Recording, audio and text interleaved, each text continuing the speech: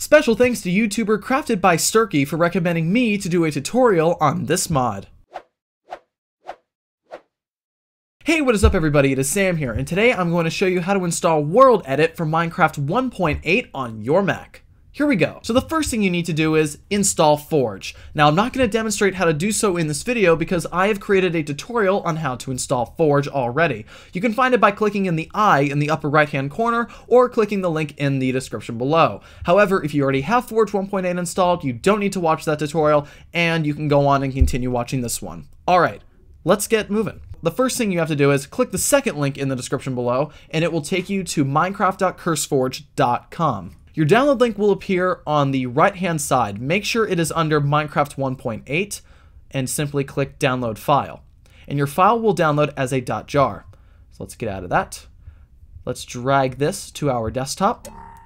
Now let's open up our Finder, click Go, and then click Go to Folder. Copy and paste this code from the description below into the Go to Folder field, then press Go. Press Application Support, Minecraft, and in your mods folder, simply drag this .jar into your mods folder. Now let's get out of that. Now let's open up Minecraft. Make sure your Forge profile is selected, then press play. Okay, to try it out, I'm going to create a new single player world. I'm going to make it a creative world, and I'm then going to click create new world. Alright, now I'm going to use a few basic commands to see if world edit is working correctly.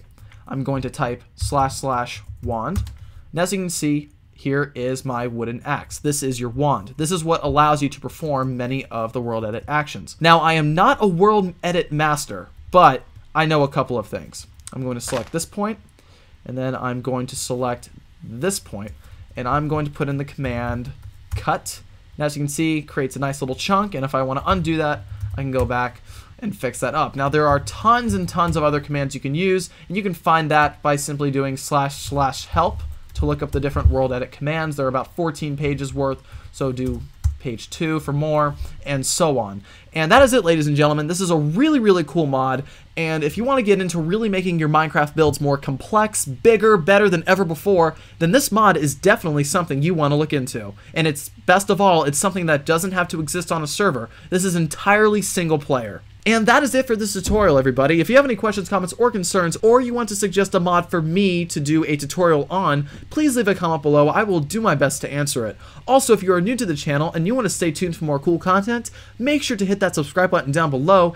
And if you really enjoyed this video, make sure to hit that like button down below as well. If you are not already, make sure to follow me on Twitter, like the Facebook fan page, and add me on Google+. Alright everyone, thank you so much for watching. I am Sam, and I am signing off.